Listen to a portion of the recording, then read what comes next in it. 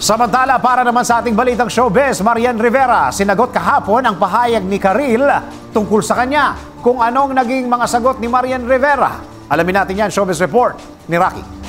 Nagsalita na si Marian Rivera kaugnay sa pagkakabulgar ng pagkikita nilang dalawa ni Karil noong January 26 sa Greenbelt, Makati City. Ayon kay Marian, iyon ang unang pagkikita nila ni Karil matapos na maugnay silang pareho sa kanyang mister na si Dingdong Dantes.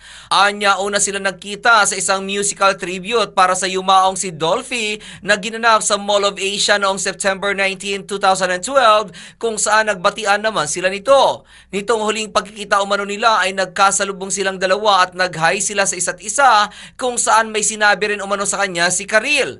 Nang usisain ng press kung ang sinabi ba ni Karil ay gandang-ganda ito sa kanya tulad na naunang pahayag ng anak ni Shasha Padilla ay natatawang umiwas si Marian kung saan hindi niya raw alam sabay sabi ng basta yun na yun. Nilinaw naman ni Marian na since day one ay wala siyang problema kay Karil at maging sa ex umano ni Ding Dong na si Anthony Tos ay wala rin siyang problema at okay sila nito dahil nagbabatian sila sa tuwing nagkikita silang dalawa. Anya wala naman siyang mapapala sa pagbabad vibes kaya good vibes lang dapat lalo na at halos wala na siyang mahihiling pa kaya't very thankful umano siya.